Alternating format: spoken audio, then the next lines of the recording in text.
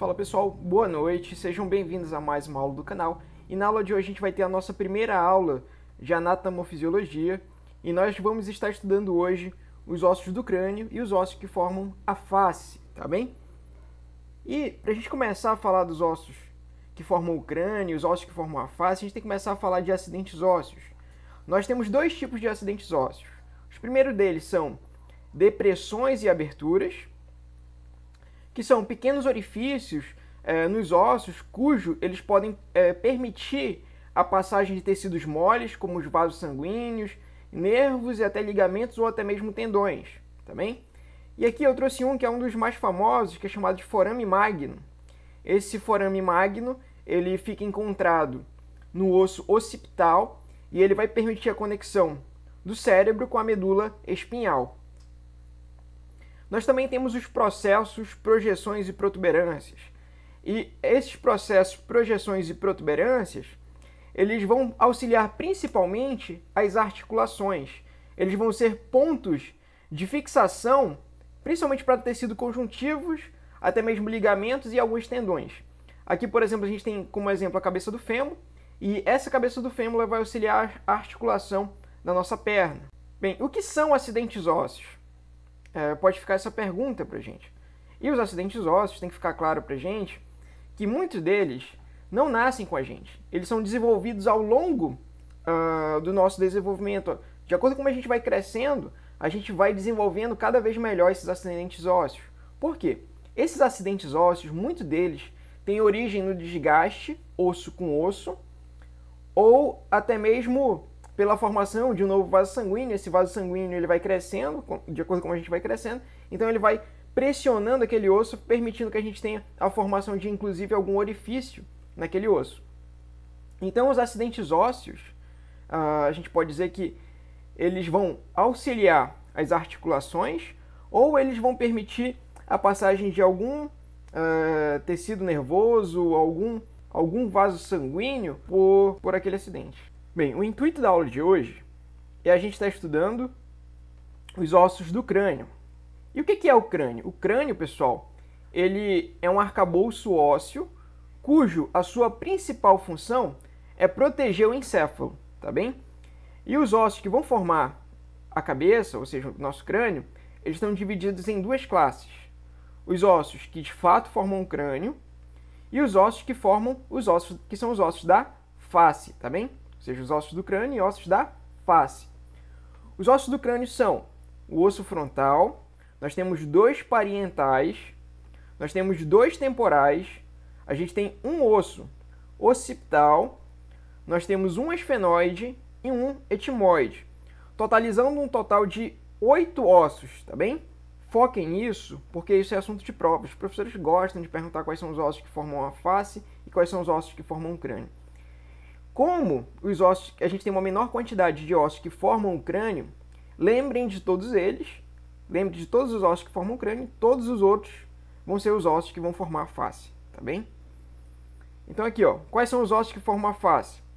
Nós temos dois ossos nasais, duas maxilas, dois zigomáticos, um esquerdo e um direito. Nós temos é, a mandíbula, nós temos dois ossos lacrimais, dois palatinos, duas conchas nasais inferiores e nós temos também o vômer, que totaliza um total de 14 ossos para os ossos que formam a face. Aqui, pessoal, por curiosidade, nós temos uma vista lateral direita do crânio, tá bem? Como que eu sei que é uma vista lateral direita, professor? Como a gente vai saber disso? Bem, como vocês podem ver, é uma vista lateral, uma vista de lado, e aí, ó, percebam que esse é o lado direito do cadáver. Se fosse o lado esquerdo do cadáver, seria uma vista lateral esquerda do crânio, tá bem? Bem, o primeiro osso que a gente vai falar hoje é o osso frontal. Esse osso frontal, ele vai formar principalmente, ele vai formar a fronte do crânio, e o osso frontal, ele forma, inclusive, o assoalho do crânio, ele vai estar auxiliando a formação do assoalho do crânio, e ele também auxilia a formação das órbitas, tá bem? É ele que vai formar a porção superior das órbitas oculares. Nós temos alguns acidentes ósseos que é importante a gente começar a falar aqui do osso frontal. Qual é o primeiro? A gente tem aqui ó, o processo zigomático, Percebam que apesar do nome ser processo zigomático, esse acidente ósseo ele está no osso frontal. Ele é chamado assim porque aqui é onde vai se originar o osso zigomático. Nós temos a margem supraorbital, que é justamente essa linhazinha aqui que eu pintei em vermelho. Essa margem supraorbital, ela vai ficar justamente aqui nessa região e ela é muito fina, pessoal. É por isso que boxeadores, eles quebram facilmente essa região é, eles levam um soco e rapidamente sangra é, acima dos olhos, porque a gente tem essa região que é a margem supraorbital e ela é muito fina. Então qualquer pancada aqui vai ter uma hemorragia. Nós temos aqui em cima a escama frontal, nessa região aqui.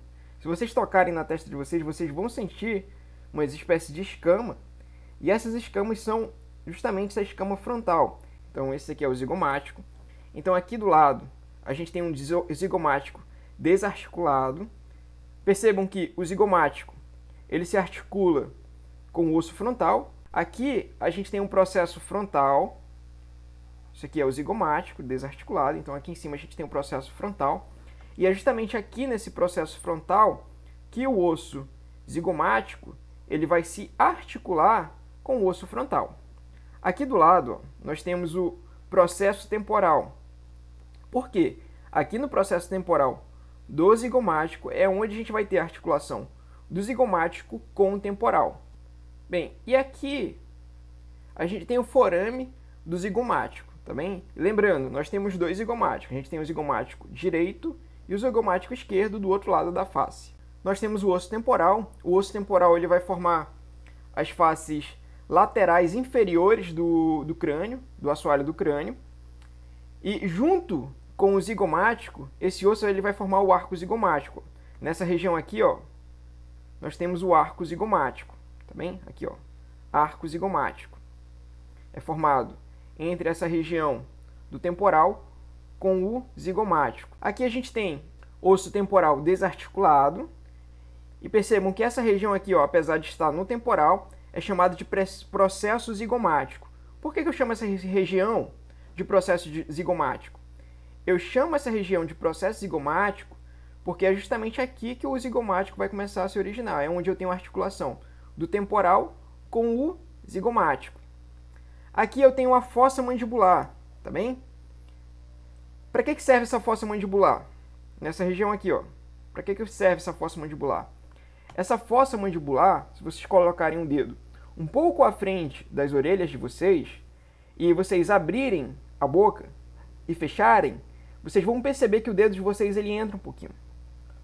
Ou seja, essa fossa mandibular é onde vai ter articulação do temporal com a mandíbula. E aí vai formar uma articulação que é chamada articulação temporomandibular, a nossa famosa ATM. Bem, aqui embaixo nós temos o processo estiloide, esse camaradinho aqui que eu pintei de vermelho. E esse processo estiloide, para que, que ele serve? é justamente onde a gente vai ter o ligamento de vários músculos do pescoço para manter a cabeça firme, tá bem? Nós temos também aqui, ó, uh, o processo mastoide. Então aqui a gente tem o processo mastoide. Para que serve esse processo mastoide?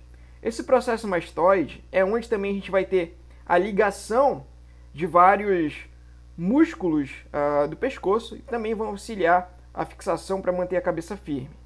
Bem, nós temos também o meato acústico, interno e o meato acústico ele se projeta para dentro do crânio e é justamente esse meato acústico que vão passar é, um nervo facial 7, tá bem? E aqui uma outra pergunta para vocês, como é formado o arco zigomático? Tem que lembrar, o arco zigomático ele é formado entre o osso temporal e o osso zigomático.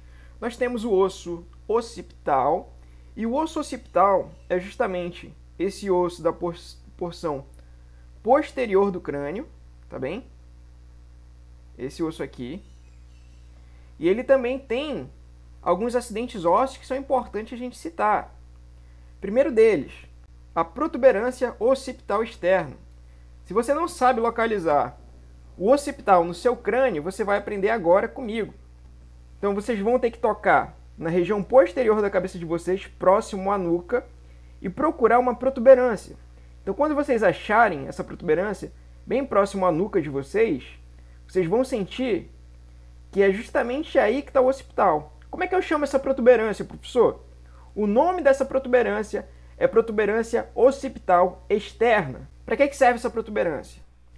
É justamente nessa protuberância, pessoal, que a gente vai ter o ligamento, uh, um ligamento fibroso e elástico, que vai se ligar aqui na protuberância occipital e se estender até a sétima vértebra da coluna cervical. A gente tem também aqui o forame magno, que eu já falei para vocês. Tá bem? Tá aqui do lado, forame magno. Qual é a função do forame magno? A função do forame magno é fazer a conexão do bulbo encefálico com a medula espinhal. E aqui também vai passar uh, algumas artérias. No occipital, nós também temos o chamado côndilo occipital. Tá aqui, esse camarada aqui, ó. Essa região aqui de baixo. Para que, que serve esse côndilo occipital? É através desse côndilo occipital que a gente vai ter uma articulação que é chamada de articulação atlanto-occipital. Por que, que ela tem esse nome? Porque esse côndilo occipital ele vai se articular com a primeira vértebra da coluna cervical, que é chamado atlas. E é graças a essa articulação que a gente vai ter um movimento de anuência. Ó. Movimento de movimentar a cabeça para frente e para trás. Aquele famoso sinal de sim. Mas lembrando, é, é um sinal de sim é, meio que de leve, não é muito forte. Porque quando você tem um movimento de sim muito forte, você já começa a movimentar outras articulações da coluna cervical, além da articulação atlanto-occipital. Nós temos aqui também o esfenoide, e o esfenoide é um dos ossos mais importantes do crânio porque ele se articula com todos os ossos que vão formar o crânio. Olha só, esse camarada aqui é o esfenoide. Percebam que o esfenoide ele vai se articular com o etimoide, ele vai se articular com o osso frontal, ele vai se articular com os ossos parietais, aqui os, os ossos parietais, ele vai se articular aqui também, ó, com o nosso com o nosso osso temporal, ele vai se articular também com o occipital, ou seja, ele se articula com todos os ossos que formam o crânio. Então a gente tem uma vista aqui de frente do, do esfenoide e a gente consegue ver que o esfenoide ele vai ter uma ele vai ter duas asas maiores e vai ter duas asas menores. Aqui estão, ó, as asas menores e a gente tem aqui embaixo as asas maiores bem aqui as asas maiores. E bem no centro, a gente tem uma, uma superfície, uma região, que ela é basicamente cúbica. Ó. E essa região cúbica, ela é extremamente porosa, é, é oca por dentro, que é chamado de corpo do esfenoide. E aqui embaixo, nós temos o processo pteregoide. A gente vai ter o processo pteregoide direito e esquerdo. Qual é a função das asas maiores do esfenoide? As asas maiores do esfenoide, elas vão auxiliar a formar parte das órbitas oculares e também vão estar projetadas tanto do lado direito quanto do lado esquerdo é, do crânio. A gente tem aqui também o canal óptico e é através desse canal óptico que a gente está vendo aqui do lado, canal óptico, qual vai permitir a passagem de uma artéria óptica, tá bem? Uma artéria que vai ir para os nossos olhos, também de um nervo óptico. E a gente tem um processo pteregoide. A gente vai ter um processo pteregoide em cada lado das nossas cavidades nasais. Essa fissura orbital superior, como está escrito aqui no lado, vão passar alguns vasos sanguíneos e alguns nervos cranianos. E por fim a gente tem um forame redondo. É através desse forame redondo que a gente vai ter a passagem de um nervo que é chamado de nervo trigêmeo. Quando a gente começar a estudar nervo, vai ser importante a gente lembrar desse forame redondo aqui do esfenoide. Por fim, pessoal, a gente tem o etimoide, e o etimoide, ele é um osso oco, e por ele ser um osso oco, ele é um osso bastante sensível. E é ele que vai formar principalmente as nossas cavidades nasais. Onde que está localizado o etimoide? A gente diz que o etimoide ele está localizado posteriormente aos nasais e anteriormente ao esfenoide. Esse osso, essa região aqui seria do esfenoide e essa região aqui seria dos nasais. Ele está localizado posteriormente aos ossos nasais está localizado anteriormente ao esfenoide. Bem, pessoal, aqui no etimoide nós temos as conchas nasais, nós temos a concha nasal superior e a concha nasal uh, média. Para que servem essas conchas nasais? Essas conchas nasais, elas aumentam muito a superfície de contato com o ar. Por quê? o ar entra pelo nariz, chega até essas conchas nasais, e essas conchas nasais, pessoal, elas são cheias de vasos sanguíneos, tá bem? E o que, que acontece? Os vasos sanguíneos, ele contém sangue, obviamente.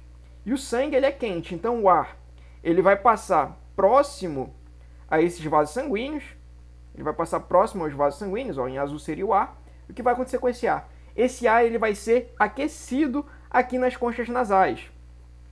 E isso é de fundamental importância para que seu trato respiratório não seja ressecado. Tanto é, respiram aí três vezes pela boca. Ó. Você começa a sentir que sua garganta fica ressecada. Isso se dá principalmente porque o ar não é filtrado e muito menos aquecido. A sua boca não consegue aquecer o ar, por isso que você sente esse ressecamento, tá bem? Então, tem muita importância essas conchas nasais superior e média. Bem, a gente também tem a lâmina quirimiforme. E a lâmina quirimiforme, pessoal, ela vai formar o teto uh, da cavidade nasal, mas ela também forma o assoalho do crânio, tá bem? O que é o assoalho do crânio? O assoalho do crânio é onde o cérebro vai repousar, é onde ele vai ficar em cima, tá bem? Nós temos, uh, como já mostrei para vocês aqui, ó, no etmoide, nós temos as conchas nasais, e elas estão aqui, ó, só para vocês terem uma, uma visão de frente das conchas nasais. Então a gente consegue ver aqui na frente onde estão localizadas essas conchas nasais. E tem outro, um outro detalhe importante. Essas conchas nasais elas têm um formato meio arredondado. Então o ar entra aqui, ó, e ele meio que faz uma espécie de, de curva. Ele entra circulando. Isso aumenta muito a área de contato do ar com aqueles vasos sanguíneos que eu falei para vocês que estão localizados aqui é, nessa concha nasal. Os ossos da face, nós temos os ossos nasais também. E nós temos que lembrar que nós temos um par de ossos nasais. E esses ossos nasais eles ficam localizados aqui nessa região. Eles são ossos muito sensíveis também, porque eles são laminares, então eles quebram com facilidade. Então, se alguém levar um soco no rosto, é muito fácil dessa pessoa vir danificar os ossos nasais. E muitas vezes, é, ao você fraturar os ossos nasais, você pode ter algum desvio de septo. E aí, para é, resolver isso, você tem que fazer algum processo cirúrgico. Bem, nós temos também os ossos lacrimais. E os ossos lacrimais, pessoal, eles estão aqui, ó, na região, eles estão em evidência nessa figura, e eles vão formar a cavidade, uma parte da cavidade das órbitas oculares. E é justamente através desses ossos que a gente vai ter uh, uma abertura cujo existe uma, uma glândula que pode é, permite a produção da lágrima. Então, isso, esse osso vai auxiliar principalmente a, a lubrificação dos nossos olhos e quando a gente ficar triste, a gente pode acabar chorando, então é graças a esse osso, tá bem? Ele tem uma abertura que se fixa essa, essa glândula que produz a lágrima. Bem, aqui no nariz a gente tem o vômer. O vômer ele tem essa característica triangular e ele vai dividir o nariz em hemisfério esquerdo e direito, tá bem? Ele vai dividir entre a cavidade nasal esquerda e direita. E, por, e quase por fim já, nós temos duas maxilas. Nós temos a maxila direita e esquerda. As duas juntas formam o maxilar, tá bem? A gente tem um par de maxilas. E percebam o seguinte, uh, é justamente essas maxilas que vão formar a maior parte do palato duro, tá bem? O céu da boca é formado, a maior parte dele é formado pelas maxilas. Por fim, a gente tem a mandíbula, e na mandíbula a gente percebe que a gente tem aqui, ó, o processo condilar, e é justamente através desse processo condilar, pessoal, que a gente vai, é, que ele vai se articular com o temporal, tá bem? Então é justamente aqui, ó, esse processo condilar que se articula no temporal formando a nossa famosa articulação temporomandibular. Isso aqui a gente tem que ter um pouquinho mais de foco pelo seguinte: alguns pacientes, ao retirar um dente, uh, ou até mesmo estar tá com uma cárie em um dente, somente um lado, por exemplo, ele pode forçar a mastigação do lado oposto. Olha só, está cariado esse dente ou arrancou esse dente, ele acaba muitas das vezes forçando a mastigação do outro lado. Que acontece que a gente pode ter uh, o comprometimento, uh, ou até mesmo desgaste maior da articulação desse outro lado, porque o paciente ele acaba utilizando esse lado. É por isso que algumas pessoas acabam sentindo dores na articulação tem, é, temporomandibular. Isso aí vai de caso a caso, também tem pessoas que podem ter bruxismo e por isso ter algum tipo de dor na articulação temporomandibular. Mas não se preocupem, a gente vai ter uma aula só de articulação temporomandibular. Inclusive, a gente vai entender melhor essas patologias da articulação temporomandibular, tá bem? Então, pessoal, a aula de hoje era isso. Muito obrigado por assistir a aula até o final. Se você gostou do vídeo, dá o gostei aqui, compartilha com seus amigos. Não se esqueça também de se inscrever aqui no canal para você receber outros vídeos sobre o assunto, tá bem? Muito obrigado e até a próxima aula.